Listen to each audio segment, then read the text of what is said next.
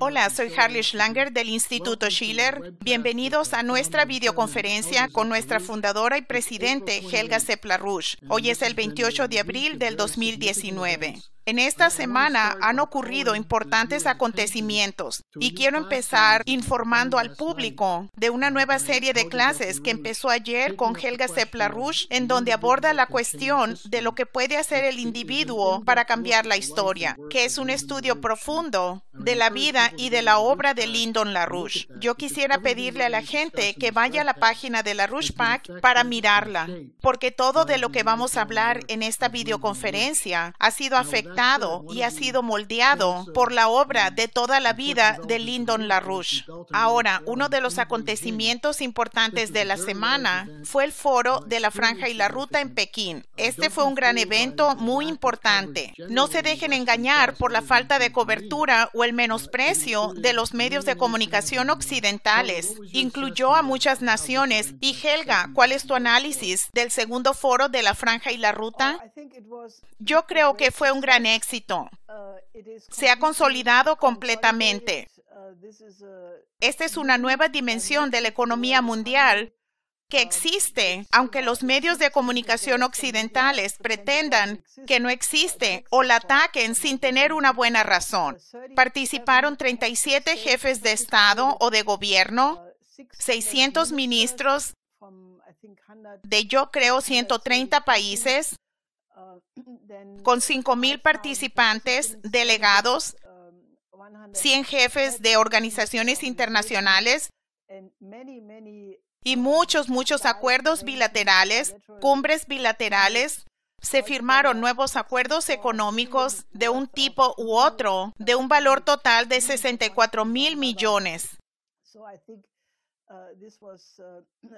Así que creo que esto fue un gran, gran éxito. Y Xi Jinping, en su discurso principal, en verdad, habló con gran detalle del gran progreso que se ha llevado a cabo en los últimos dos años, desde que se llevó a cabo el primer foro de la franja y la ruta. Y luego él dio una lista, una larga lista de los corredores y proyectos que yo ni siquiera puedo mencionar aquí, como 20 o 30 grandes corredores él nombró el primero, que naturalmente me hizo muy feliz, el nuevo puente terrestre eurasiático. Como la gente podría saber, esto es algo por lo que hemos hecho campaña por casi 30 años desde el derrumbe de la Unión Soviética.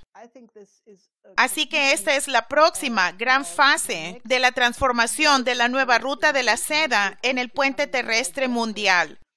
Y también de gran importancia es que en el contexto de este foro de la franja y la ruta, al que Estados Unidos solo mandó alguna representación diplomática, pero no mandó a una persona de alto rango del gobierno.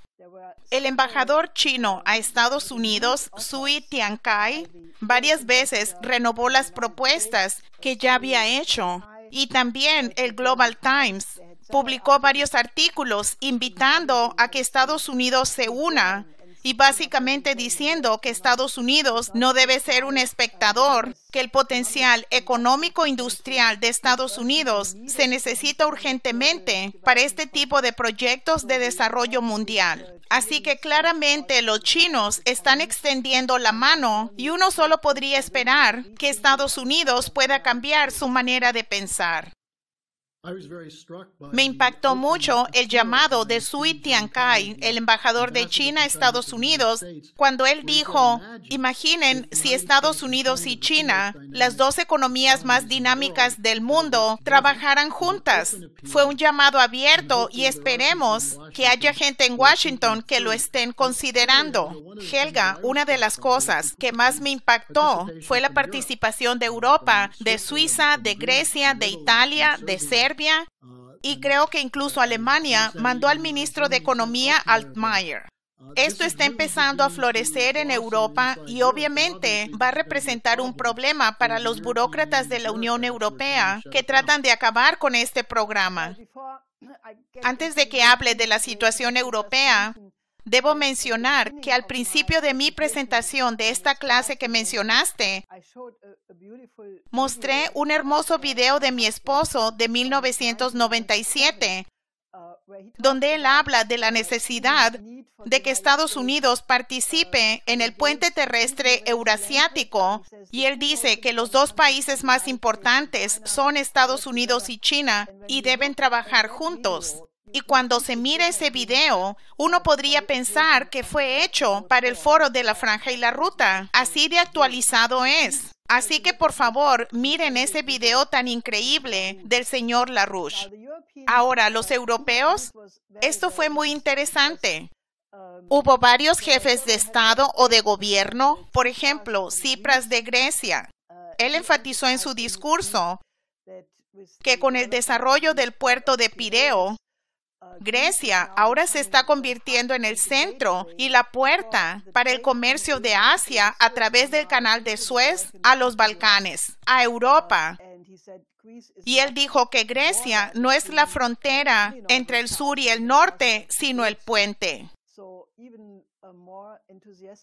El primer ministro de Italia, Conte, fue aún más entusiasta, quien también se reunió con Xi Jinping y Li Keqiang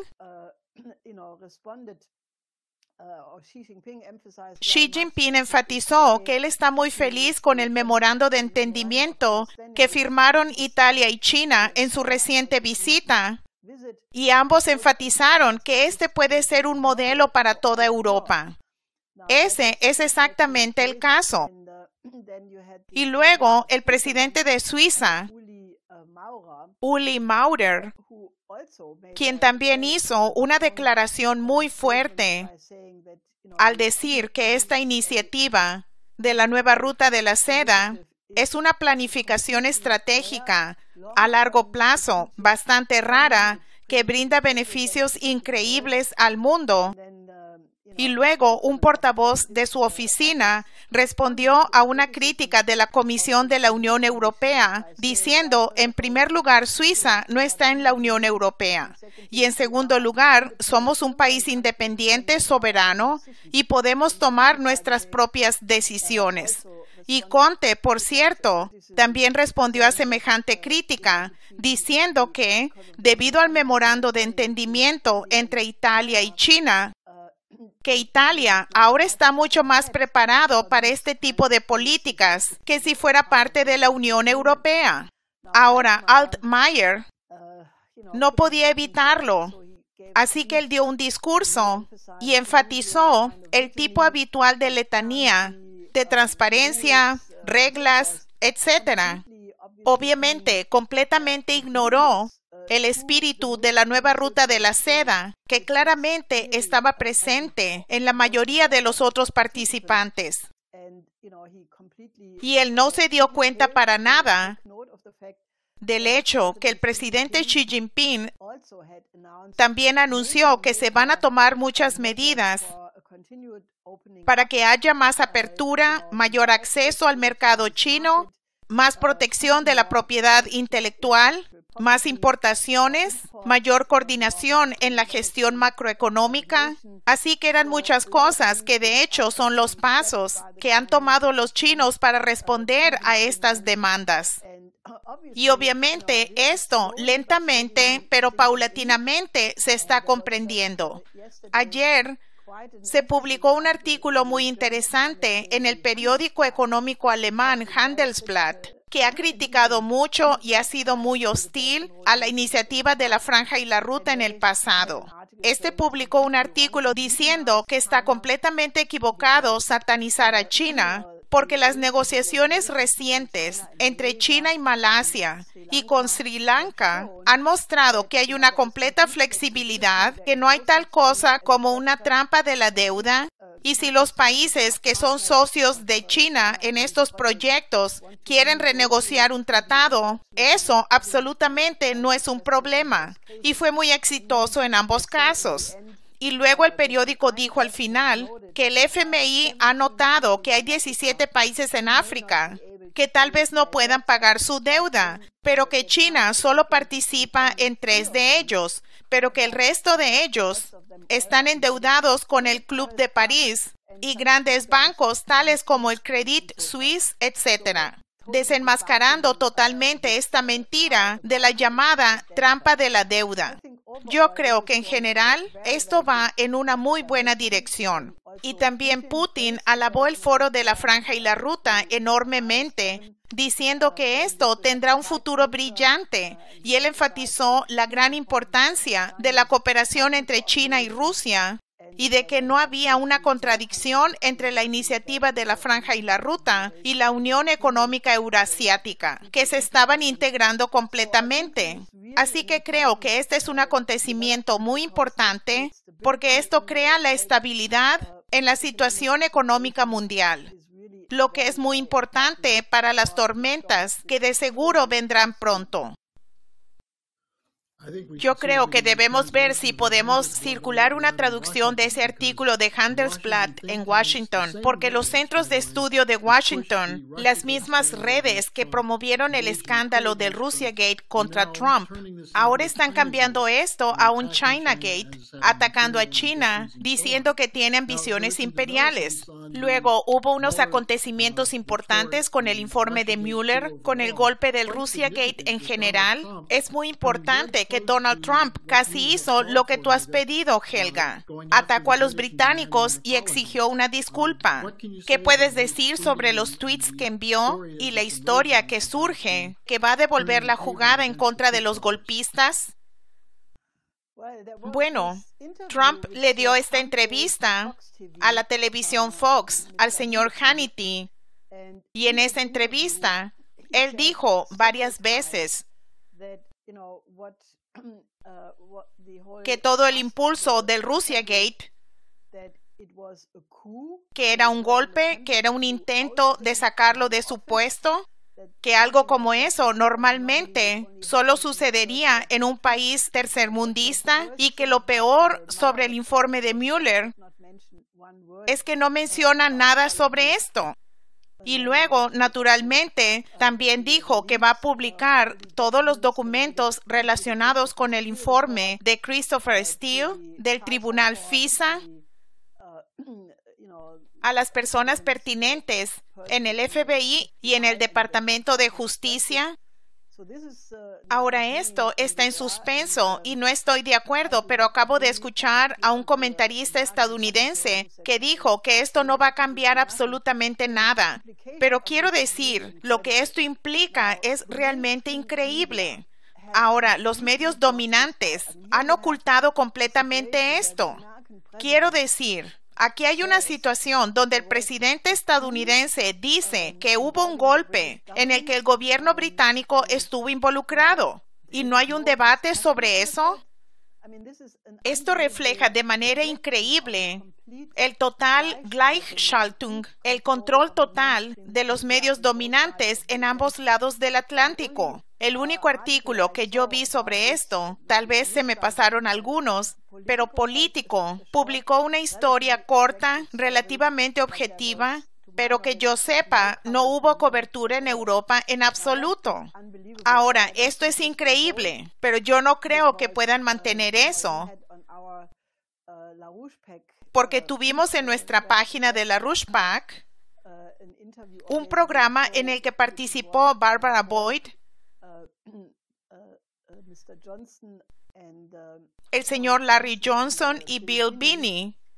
Y ellos básicamente, de nuevo, miraron al informe de Mueller y dijeron que en el informe de Mueller no hay absolutamente ninguna prueba de interferencia rusa en la elección o en ninguna otra parte, que estas son solo afirmaciones y que por el otro lado el papel del GCHQ y de la inteligencia británica es lo que realmente es el aspecto más importante de cualquier colusión.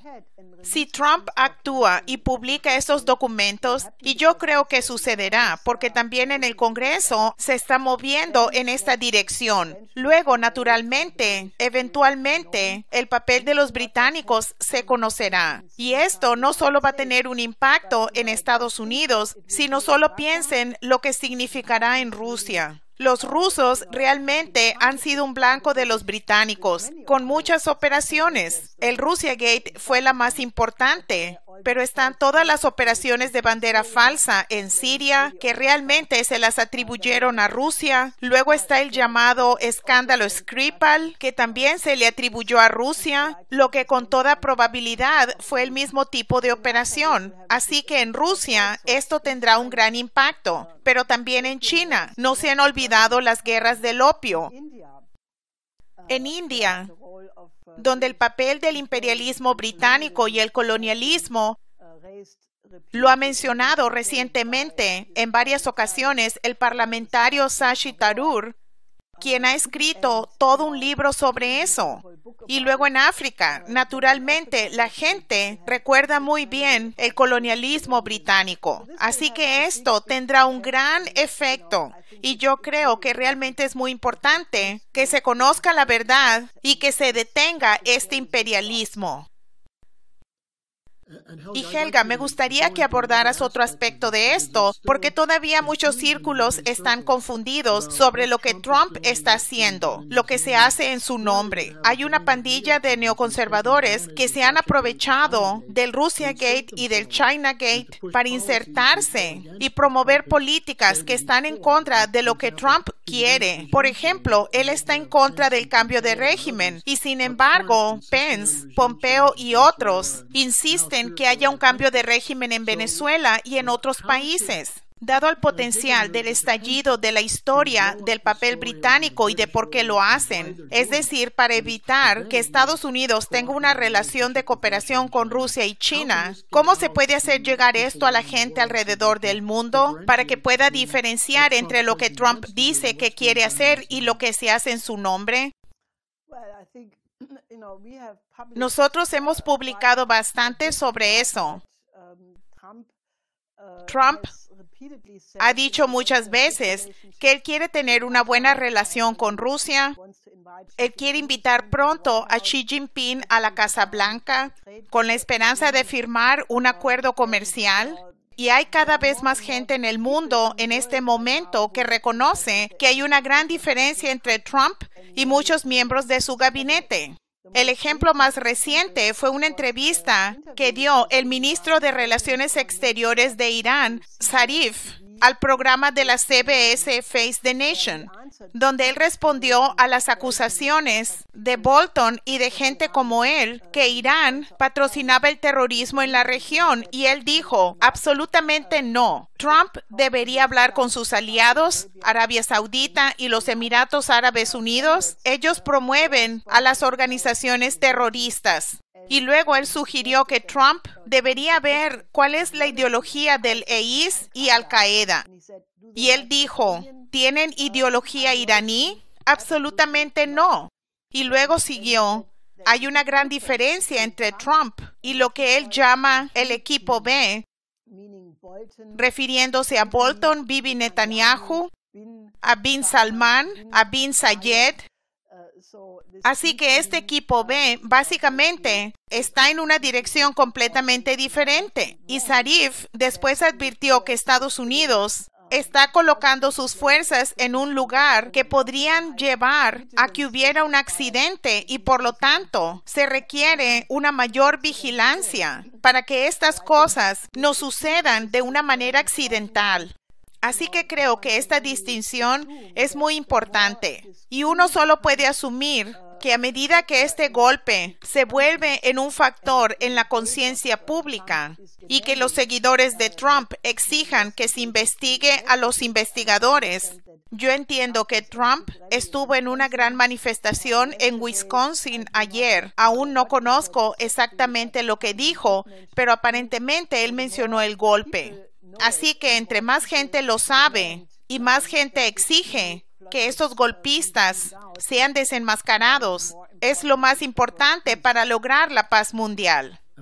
Y yo creo que también es importante que gente como Bill Binney, Larry Johnson y otros, que también estuvieron en nuestra llamada de los jueves, continúen su ofensiva para denunciar el fraude del informe de Mueller, que dice que Rusia intervino e interfirió en las elecciones estadounidenses. Por otro lado, Helga, tú mencionaste el peligro de una crisis financiera que se avecina. Hay señales de esto de los mercados emergentes. ¿Qué nos puedes decir sobre eso? Bueno, en Argentina hay un pánico total. La moneda se derrumbó el viernes. Ahora tienen una tasa de inflación anual del 55%, pero la gente en el terreno nos dijo que nadie sabe qué es lo que pasará. La situación está completamente fuera de control y la posibilidad que Cristina Fernández de Kirchner sea de nuevo candidata para la presidencia y tenga una buena oportunidad de ganar, absolutamente existe, porque la gente ya está cansada del gobierno actual. Hay otros informes en los medios financieros que también Turquía y Corea del Sur están en problemas. Así que hay que estar muy alertas y simplemente muestra el punto de que debe haber un nuevo sistema de crédito, lo que Lyndon LaRouche ha exigido por muchos años.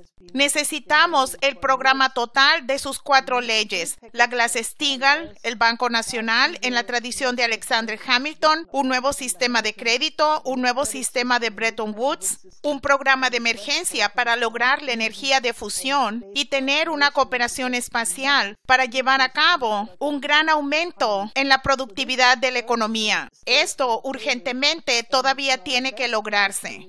La mejor manera para lograr eso y lograr el tipo de acuerdo de las cuatro potencias que el señor LaRouche ha exigido también por muchos años. Es que Estados Unidos responda positivamente a la propuesta de China de cooperar con la iniciativa de la franja y la ruta, porque eso también le daría la capacidad de invertir en el tipo de programas de desarrollo que serán la única manera en que se pueden estabilizar muchas situaciones alrededor del mundo.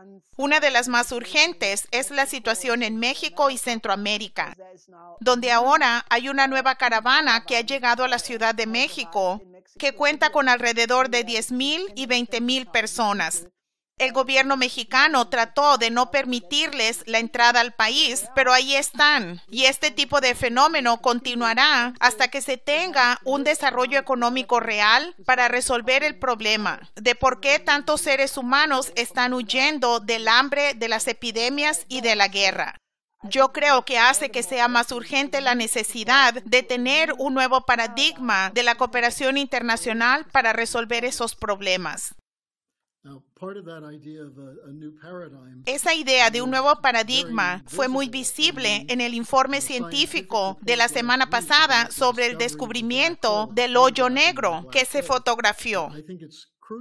Yo creo que es importante regresar a este tema del trabajo de tu esposo uno de sus puntos más importantes fue que la cooperación científica global es esencial y él planteó esto con su idea de la defensa estratégica de la Tierra. Tú has hablado mucho sobre la importancia de que se fotografió el hoyo negro. ¿Cómo encaja esto en el contexto de esta idea de la cooperación internacional?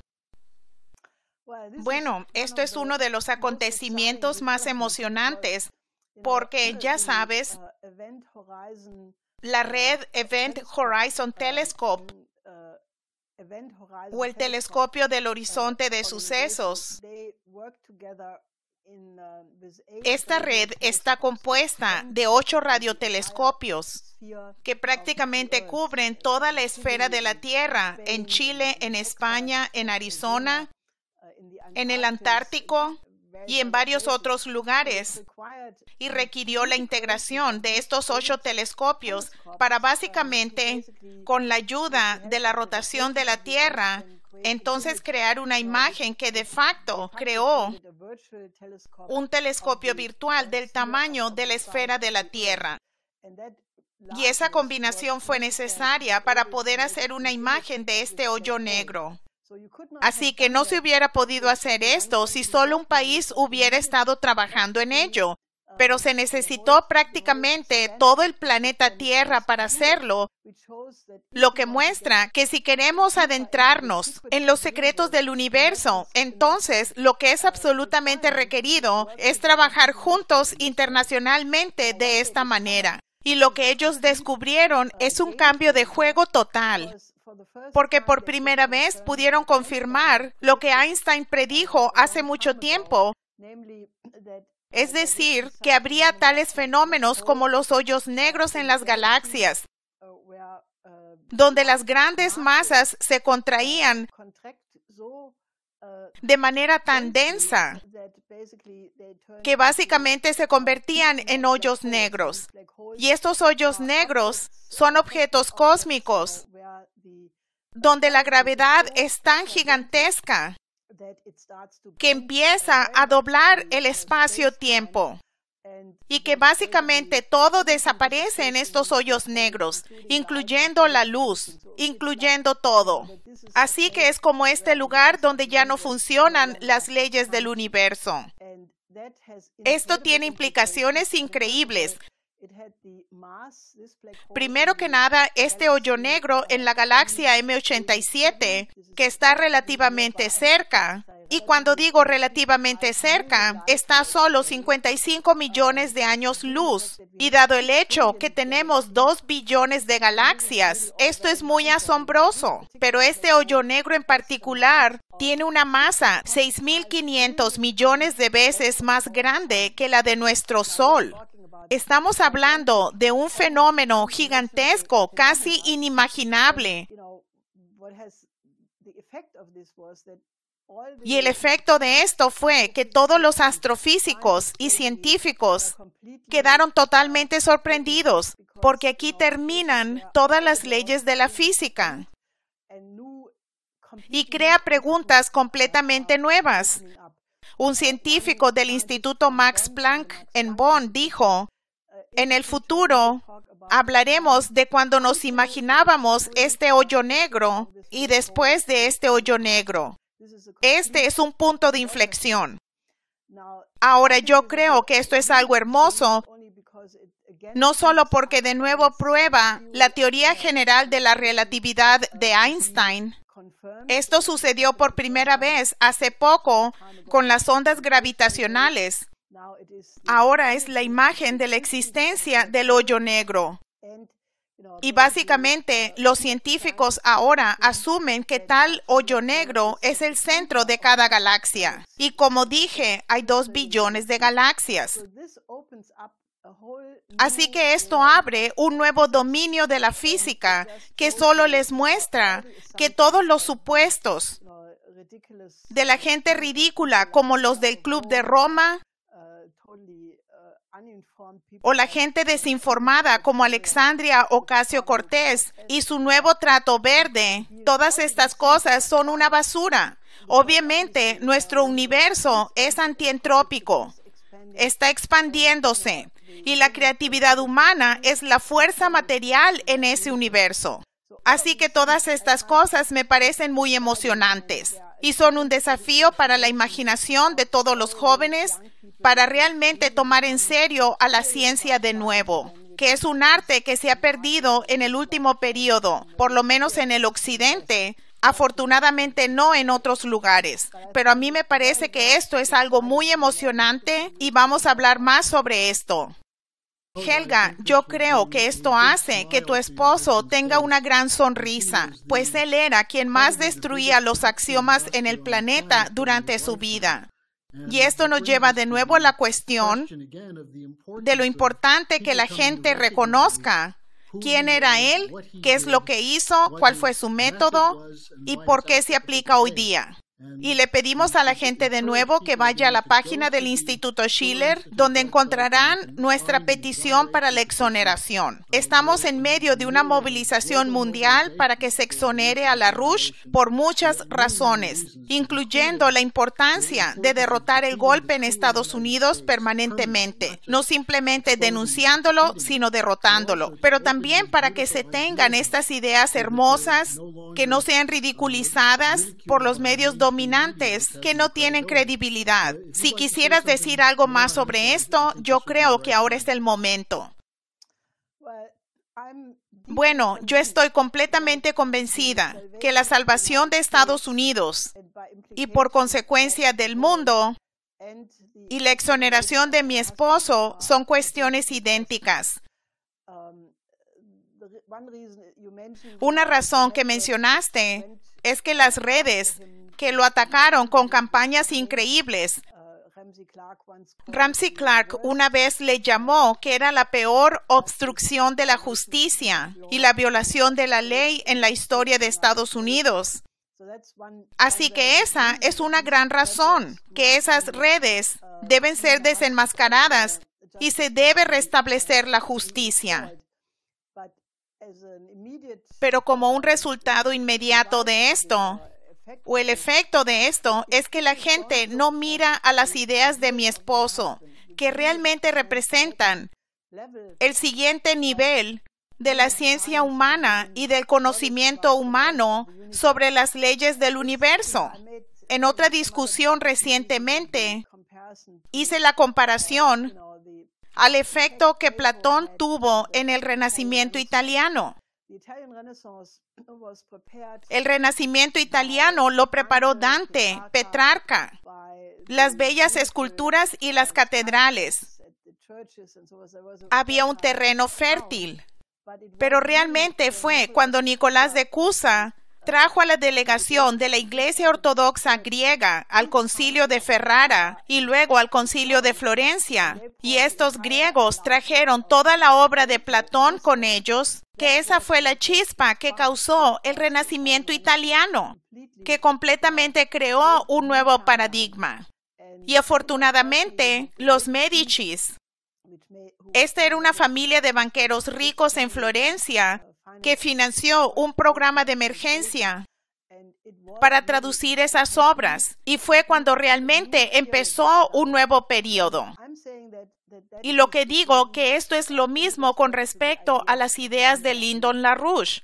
Yo creo que hay muchas cosas buenas que están sucediendo en el mundo en este momento, pero estoy absolutamente convencida que su obra de toda la vida tan importante será la chispa que catalizará un nuevo renacimiento, por lo menos en el occidente, pero también creo que más allá. Así que por eso realmente les urjo que lean su obra y que firmen el llamado para su exoneración y nos ayuden a difundirlo. Esa es una buena tarea para todos. Helga, gracias por acompañarnos esta semana. Nos vemos la próxima semana. Hasta la próxima semana.